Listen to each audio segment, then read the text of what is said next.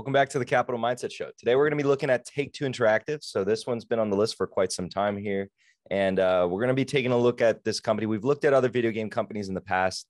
Uh, the one that I've been involved with in more recently, as long as the channel's been alive, um, has been uh, Activision. So I have the video out there on my channel about Activision when I was started buying it, and of course the day that I sold when it uh, was announced they were going to be acquired by uh, Microsoft. I think that's a good video to watch to kind of as a case study at this point to kind of see what is the thought process behind when someone should probably think about selling an acquisition target and it gets onto the annualized rate of return versus the absolute rate of return and it's a good case study on that aspect. And it was in real time. So um, also there's you know i gotta say the activision videos have pretty funny intros um, if you guys are into that okay? So take two interactive is known for its grand theft auto series red dead redemption. Uh, personally as a consumer I, I am familiar with both of those products. They're very good very well detailed. They don't come out as often as other games. And so a lot of you could say love goes into those games uh, the most recent one that's extremely popular and I think has broken tons of records is Grand Theft Auto. So taking a look, of course, at the um, stock itself, we're going to see how they performed thus far. And let me tell you right now, Take Two Interactive as a as a company has performed phenomenally since its IPO. Uh, but more recently, it's kind of actually been in a stagnant period. You can kind of see here since uh, 2020, it's kind of gone nowhere. And in fact, it's only down 10% but over the one year it's definitely it's down 19% so it hasn't performed very well more recently now the question is was it overvalued did it get overvalued back then and is that the cause of this suspicion says yes so just before we even look at this i think that's exactly what occurred and this is a good uh, lesson that we can get trapped in what's called dead money so even over the five years, right? You're still up, right? Let's see what the, the five year return is 152%. I think that's outperforming the market. But more recently, again, we, we're in this dead zone where you know the, the, the company or the company has done well, but the stock hasn't done well. And that can happen when we reach a point of overpriced or overvalued. Okay, so when the stock was overvalued, and I assume it was right here in December, and a lot of things were overvalued. And 2021, at the very beginning of 2021, there was a huge liquidity boost uh, for a lot of these uh, meme stocks, you could say. And we we saw that you know Take Two Interactive actually did not benefit from that. Maybe a lot of liquidity left them, but at that point, I do believe they were overvalued. And then we again we see that underperformance, about down 28% while the market was up. Okay, not not too good, right? So a lot of people, believe it or not, we're buying here because you know it continues to go up, and they're like, oh, it's going to continue to go up. A lot of people don't understand the nuances or the details of what goes into the valuations of a business. So we're going to look at it today and decide for ourselves what we think about it. And of course, this channel is to provide a different perspective. Hope you guys enjoy this perspective. All right, so uh, let's look at the investor presentation. And this is going to be the sales pitch. If we don't like this, we're not going to really like anything else. Then we're going to look at the annual report and kind of see a little bit more details in terms of the balance sheet and stuff. Uh, so let's take a look here. Immersive Independence Mobile Midcore. Okay, so this is the first time I'm reading this, by the way. I do this so that I am in a point of discovery alongside with you guys. So right here, we know that they own NBA 2K. That's kind of like a rinse and repeat. I never understood why people continue to buy those games, but I love the fact that they do for these businesses. So for example, EA has FIFA. The, they just repackage the same game, it seems, and change the graphics a little bit, maybe change the player stats a little bit, and then just throw it out there. And it's basically printing money every year. Same thing with uh, 2K. 2K is more or less the same thing. Uh, EA dominates almost every other aspect, uh, and we have 2K and WWE, which more or less the same thing. So, uh, Tiny Tina's Wonderland, I think that must be uh, Borderlands. Yeah, that's Borderlands. And then Marvel's Midnight Suns. Okay, so that's cool. Kerbal Space Program 2. Okay, I know they bought Kerbal Space Program. My brother was into that game. Uh, so Independence, so they're they're these are the ones that they are um uh i think these are the ones that they're the publisher for the mobile games so mobile as a as a sector is a fast growing sector. It's the fastest growing sector of the video game market. And so it's important to see that they have exposure there. We know that, for example, Activision has King Digital, and King Digital, I think, is the largest in that space. But there are a ton of different mobile uh, video game developers.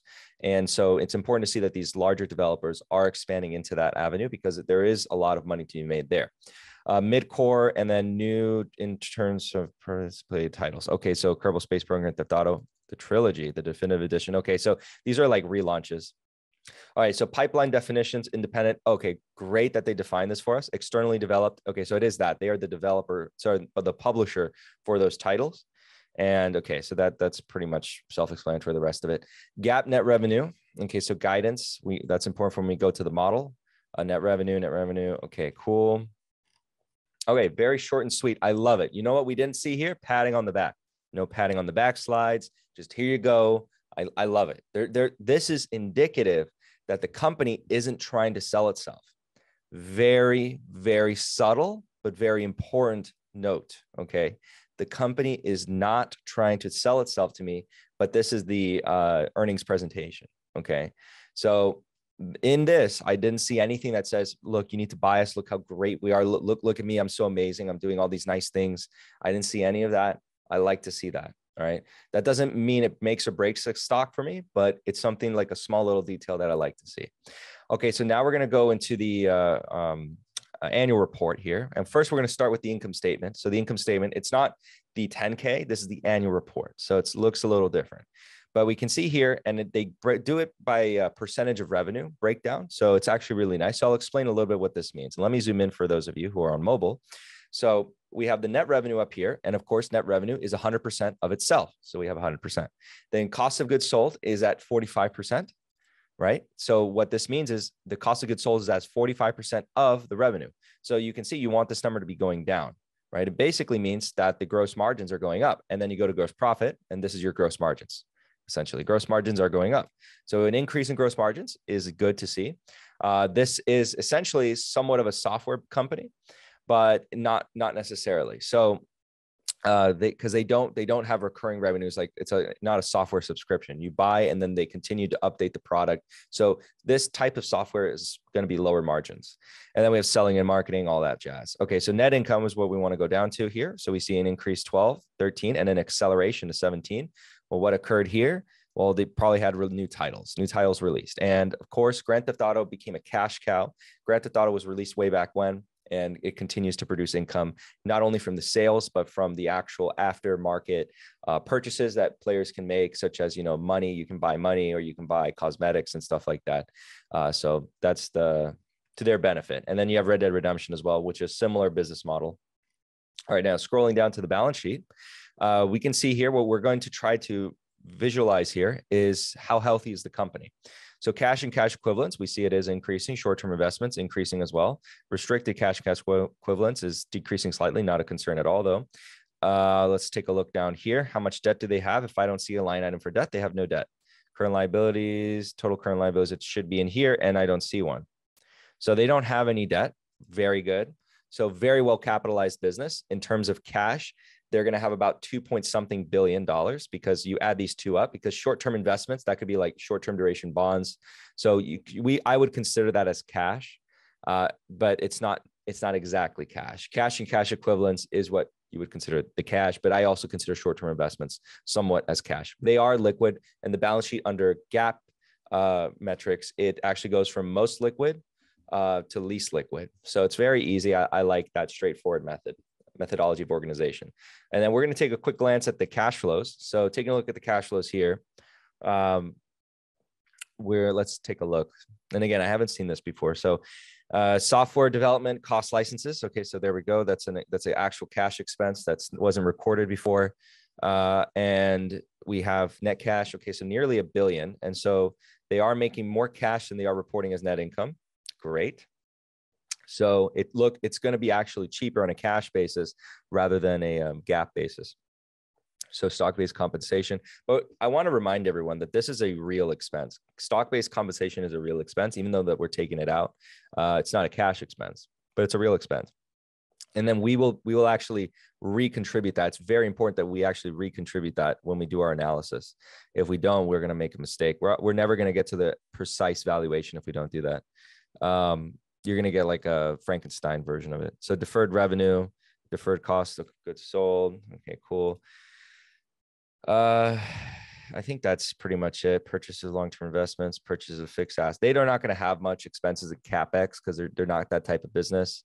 I'm trying to see if they actually have pre-purchase shares. Yeah, repurchase of common stock. So they aren't actually buying back any shares except in one year. So that we do have a net dilution. That's what that tells me. We have a small amount dilution. It's not that much, but you know, it is. Um, well, actually, no, I take that back.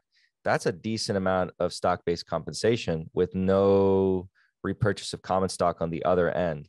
They did do a big buyback in 2019, but they have suspended this buyback, it seems. All right. So that's something to think about. Uh, I don't know if they're going to continue it, but we're going to take a look at the model now. All right, so we're moving on to the model here. And again, it's zoomed in for those of you who are mobile. I try to remember because uh, I get comments sometimes and then I'm, I feel bad. I try to do my best, guys. So TTWO, we type in that ticker. We'll wait for the model to load everything in. And uh, just pause. Do, do, do, do, do, do, do, do. There we go. All right, so analysts have this at 187.8, implying a 27.8% uh, upside. Let's take a look over here they'll pause here. You guys can look at that if you guys care about this stuff. And I'll go back here. All right, so ignore all these growth rates. These growth rates are not applicable to this business. We'll get back to this in a second. And um, so, taking a look at the other stuff, we have the PE, just as I suspected, the PE of 28, price to free cash flow of 20. So, on a cash flow basis, it appears cheaper. Return on equity 17.67. Uh, I had a question on the live stream. By the way, if you guys ever have any questions, you want to ask them live, try to tune into the live streams. I try to do a live stream uh, and this is a shameless plug, the first shameless plug of the channel. I do live streams every Tuesday and Friday, Friday or Saturday. And I try to have the guests on Friday and Saturday. So you can always ask guests questions or me questions. And then um, if I have a guest. And then Tuesdays is just like a Q&A live stream, gives everyone the chance to kind of confront me uh, or ask questions in general and uh, it's kind of like more of a hangout. All right. So be sure to tune in on those live streams. And again, that's the best place to ask like a real world or um, in real time a question. Uh, okay, so return on assets, but I had a question asking or pertaining to return on equity and return on invested capital. These are internal metrics of measuring the efficiency of a business, not to measure like your returns that you're going to receive but that was a good question. It's it's a good to explain that to people. So return on assets, uh, inherently, this is going to be a asset light business. So I actually also uh, don't really care about that one too much. Uh, return on equity and return on invested capital are going to be more important. And They're very strong. So what that tells me is actually I would prefer this business not to return capital to me at the present moment uh, because a 24% ROIC compounded over long periods of time is actually very, very strong. So I prefer them to keep it. No dividends, don't give it to me. Uh, revenue estimates are actually down. Look at that. Uh, so analysts are actually expecting decline, but however, on cash flows, they expect uh, kind of to remain steady.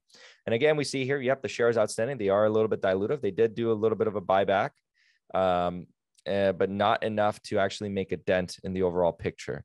So they have had periods where they've bought back shares, but you know that's fine. Uh, whether where they are now, I wouldn't really think the buyback is appropriate. Remember that we also have to consider for buybacks. And I, I want to stress this point more and more because I see that um, maybe some people uh, don't know this, or at least this is my opinion, but I'll, I'll hopefully share some light on that. And then you disagree or agree with this opinion. I think that uh, stocks or share buybacks should be executed well. And the only way that they're superior to dividends is if they're executed well. So dividends are the, the benefit of a dividend is it's cash that's out. So you can experience the real value then and there. But a stock buyback has to be executed properly. Otherwise, it's actually shareholder destructive because that's the caveat of a share buyback. If it's executed poorly, i.e., when a stock is overvalued, then you're actually just better off burning the cash uh, or burning a portion of the cash. You won't, it doesn't lose the entirety of its value, but it loses the a good portion of its value. And then we can look at other companies. There, there are plenty of companies that show examples of destructive share buybacks. Um, IBM is a good example. Uh, but basically, if, if you buy back your stock at overvalued prices, that's a poor use of shareholder capital. So here's kind of like a general rule of thumb look at a stock. If you think that it's overvalued and the company is doing share buybacks, that means, in your opinion, in that scenario, you are disagreeing with management's decision implicitly because if you think a stock is overvalued, then you don't want them to be buying back shares, right? That's that's you if you get what I'm saying, the nuances of individualized opinions. So uh, that's a good rule of thumb that I kind of look for. I look at a company, I say, mm, this is overvalued. I don't want to be them to be doing a buyback. In this instance, they're not doing a buyback. They're actually dilutive. So I think management is thinking about the longer term. They're not you know giving a dang about the the share price and they're saying they're probably saying our share shares are overvalued we can get a lot of value by issuing the shares in this case paying employees Um, and then you get the added benefit of retaining talent. And if your stock or shares are overvalued, you're actually getting a lot of value out of them. And that's actually beneficial to the long term shareholders. So the shareholders from way back when, if I was a shareholder from like 20 years ago, I wouldn't care. I'd be like, do what you need to do to make sure that the long term story maintains itself. Of course, the new shareholders are going to ma- are going to care because they're they're more of a they just got in. All right. So you see, that's the added nuance again. If, if you're like a long term shareholder, I doubt you would really care too much about those shorter term fluctuations because you know you're already up a lot. Okay. So I'm kind of simplifying in that aspect, but let me know down below your, your thoughts. All right. So a company like this, again, very solid company. We see a share dilution of about 5%. So this is not going to like it. I'm going to tell you that right now. And uh, let's lower this discount rate to 12%. So we're not as aggressive. Uh, the growth rates, though, are pretty strong. So I'm going to say 20% on the high end. And you can kind of see right there, we're at a buy at a 12% discount rate. So, so we're implying a 20% margin of safety above the market average. And uh, let's actually put in a 15% there, uh, 18% there. Uh, and then let's do a 10% there. Let's, let's start being aggressive in terms of how poorly they do. So you can kind of see here, and this is where I'd kind of say Take Two Interactive is a company I'd like to buy. Um, and you'll see in a second why, because I do think they're going to continue to grow. Grand Theft Auto 6 is going to be announced very soon. Um, so, you know, we, we are going to see some growth here in the future, but I think that around a $100 a share is, is kind of where I'd be, I'd start getting interested in purchasing this company because it does allow me to continue estimating dilution for a while for, for every year for 10 years basically. And uh, i get a good margin of safety and i do think they're going to grow around 20ish percent but uh, again that's where i'd begin to get interested. Anything below that is where i get really interested all right? So that that's kind of just like the gist of uh, my evaluation on this aspect. So taking a look at ratios we see the current ratio uh, right here pretty good. Solvency ratios pretty good. Again no debt on this thing. Uh, I think they just started accumulating some debt, and the model's actually porting that in, and the annual report's not actually as up to date. Um, so they didn't have any debt at the time of that annual report, but now it appears as though they do. Uh, so taking a look at the gross profit margin, uh, it's pretty good, increasing, very solid. One year of terribleness, about 2015, but really solid uh, operating margins. And I bet you, I bet you, this is like something to do with uh, development costs uh, operating margin, net profit margin. Okay, ROE, RA, uh, ROIC. Okay, this is a quite lumpy sometimes. You know, we have negative years here, but then pretty solid over here. So all these years are pretty good. If they continue this trend, awesome. Earnings quality is pretty good right now. Some years are, you know, pretty low, like this one, 2013, 2012.